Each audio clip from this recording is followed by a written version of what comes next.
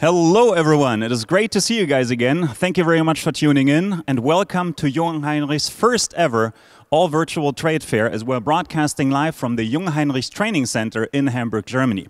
Now, my name is Thomas, and today in this video, we want to talk about one of the hottest topics in the warehouse, and that is automation.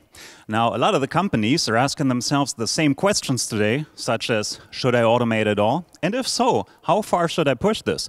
Full automation versus partial automation? And what about mixed operation? Is that even safe?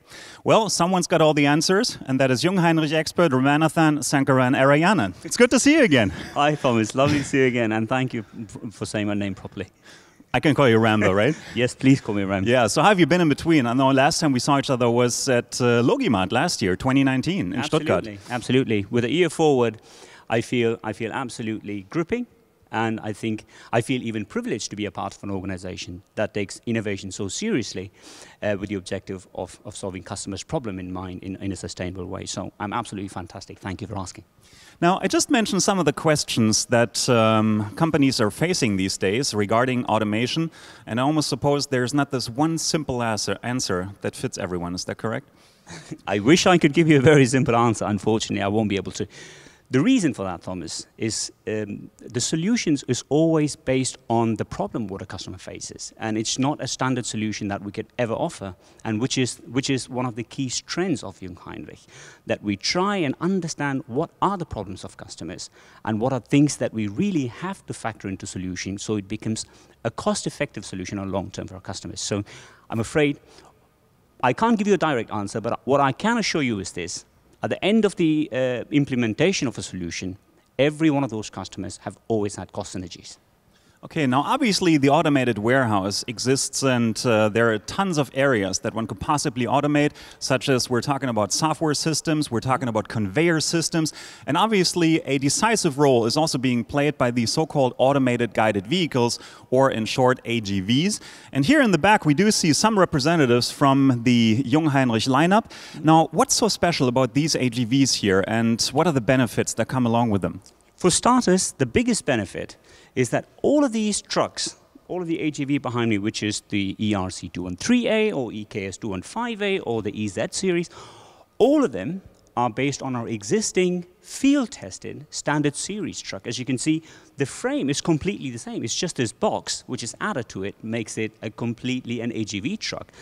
So one of the, what are the benefits? Speaking from a customer benefits, when you buy these trucks, you get the standard robust model and a proven technology that has already been working for thousands of customers all around the world. Secondly, is the high availability. Because it is a standard truck, when you want to do your maintenances, there's no struggle.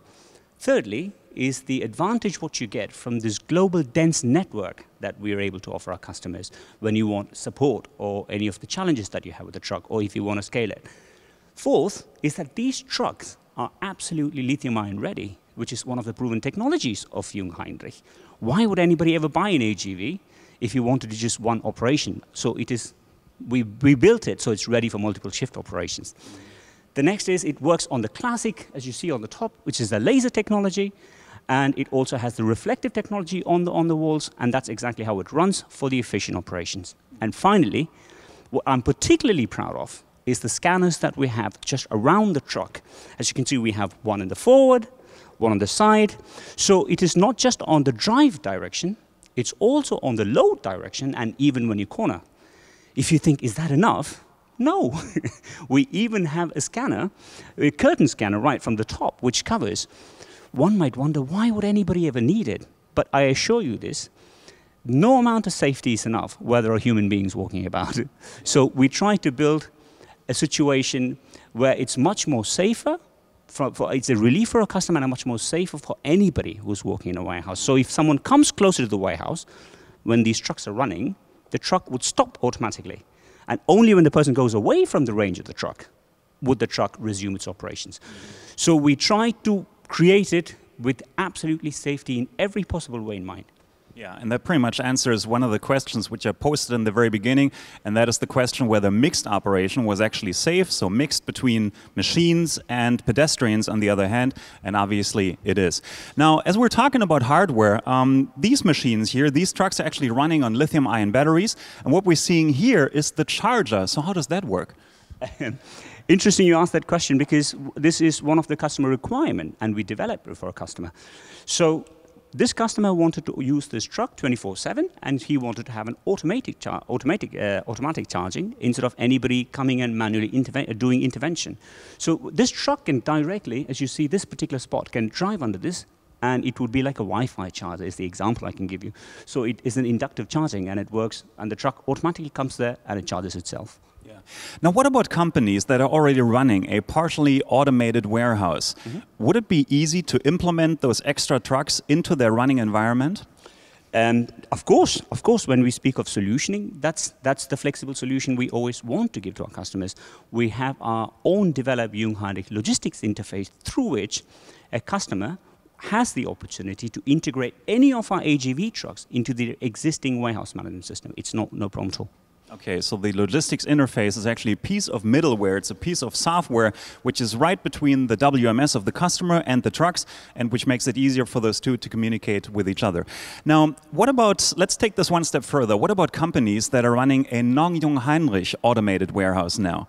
And once again, I want to implement those trucks or any other hard or even software like the Jungheinrich warehouse management system. How would that work then? I mean, it's a good point, Thomas, but I hate to sound like a broken record because any solution what we develop should solve a customer's problem. And, and this is something that we always have in the forehead when we develop, when we innovate products for our customers. So with this logistics interface, you'd be able to seamlessly integrate into any of the foreign network. If I were to compare, I would say it is more like a travel, universal travel charter. It absolutely doesn't matter what network you have. With our logistics interface, you'll be able to take our AGVs and integrate them without any trouble into your, into your existing foreign WMS systems. Okay, now let's say I was your customer. How would I actually find out which areas in my warehouse would then benefit from either partial or even full automation? What are the steps that need to be taken? Um, there are a series of things, but let's try and cover as much as possible in the interest of time. If, let's say if you're a customer who has achieved a certain level of standardization in your warehouse uh, in the, with, the folk, uh, folk, uh, with the load carriers. Could be either Euro pallets or industrial pallets, it, etc. Doesn't matter. When you achieve this certain level of um, standardization, automation is going to add immense value to you because it would help avoid this, this doing this repetitive task through which you can gain cost synergies. That's one.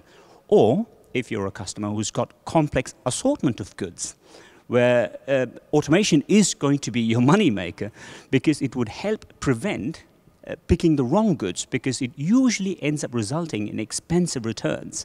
So their automation is an absolute money maker. Or if you're a customer who has business growth which is knocking on your door and you should be ready to take advantage of the business growth. But with business growth always comes the rise in the, in the demand and capacity which you don't have. So to take advantage of the growth and grow profitably, automation is the way to go. Or the, one of the last things that also comes to my mind is the human effect. As you know, finding a trained operator for trucks these, in this day and age is already difficult. To this makes, when you add the manual errors, the physical stress, and the seasonal peak where they have to work even more harder without any errors, is going to be really much of a is, is really a bit of a challenge. In all of these situations, automation is the way to go because the biggest benefit what you will get from automation is that the goods are going to be brought to the people instead of person going about in the warehouse with paper in their hand and picking things by hand. So this is where you would see the, the leverage what you will get as a customer. And as a byproduct of this is the effect on the number of people that you will require. You will exactly need the people what you uh, what, what, only for that particular job. You won't have more. You, you, it will show you that you don't need more people, or you need less people, just the right amount of people. So it's all about these processes and how they work with each other, so you get the best efficiency out of it. Yeah. Now, Ram, would you possibly have a recent practical example where you actually helped the customer to solve some of those challenges that you just mentioned? Lots of them. uh, I'm just, trying to. Just a few, not all of them. Lots of them. I'm thinking, where do I even start? Um, there was this particular customer uh, who came to us from Germany, and his concern was he wanted to be able to tr uh, transfer the pallets that comes from the conveyor belt into either a VNA aisle or to a packing station right next to it. And the biggest demand for this customer is that he wants to do the automotive charging. He wanted to run the operation 24 7. And the second biggest one is flexibility because this customer already had a warehouse management system. So in both of these situations, we offered the ERC213A, in fact, with the same charger, what you're standing underneath, with which the customer was able to charge the truck automatically without any trouble. And with the warehouse management system interface, uh, the Jungheinrich logistics interface, we were able to seamlessly integrate this truck into its existing warehouse management system. So this is one of the things that I can think of from top of my head. Okay, I think um, I'm just getting a sign that we're getting way too long here. Anyway, we want to wrap this up. So uh, eventually, uh, Ram, why should I go with Jungheinrich if I was planning to automate my warehouse? Why is Jungheinrich the perfect partner, which has all the expertise that I would need and also expect as your customer? Oh, I have lots of reasons. um, but off the top of my head, I would always say the market expertise, what we have in solutioning, or the premium products, what we produce, or the global dense network support that you can get, that you can take advantage of. Or it could be this flexibility, it could be the efficiency, what you always get. But I think as a customer, if I were to look at Jungheinrich, I would look at it for one thing.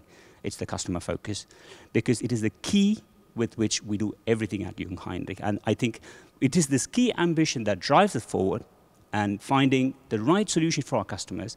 And that's exactly why a customer should choose Jungheinrich services. That's a wrap. Thank you so much, Ram, for sharing all this information with us today. And I also like to thank you guys for joining us in this video here. And we'll be back with more information with another hot topic from the warehouse. And if you have any further questions regarding the subject of automation, please be so kind to talk to either your Jungheinrich representative or you may also post your questions in the chat window, which is wherever now, somewhere here. I think it's below. Anyway, you'll find it. Thank you very much, and we'll be back with more in just a little bit. Thank you.